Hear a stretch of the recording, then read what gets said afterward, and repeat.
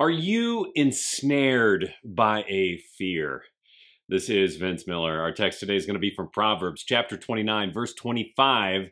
It reads, The fear of man lays a snare, but whoever trusts in the Lord is safe.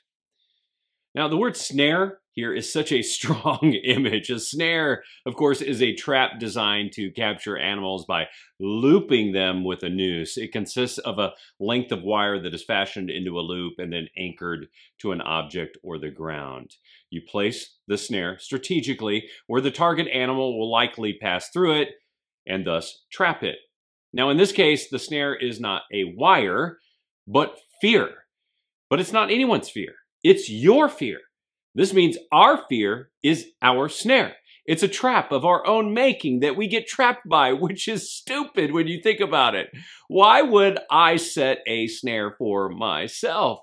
But as the proverb suggests, we do this all the time when it comes to fear. Instead, the exhortation is to turn our attention from fear to faith. But to do this, we have to fix our attention to a new object.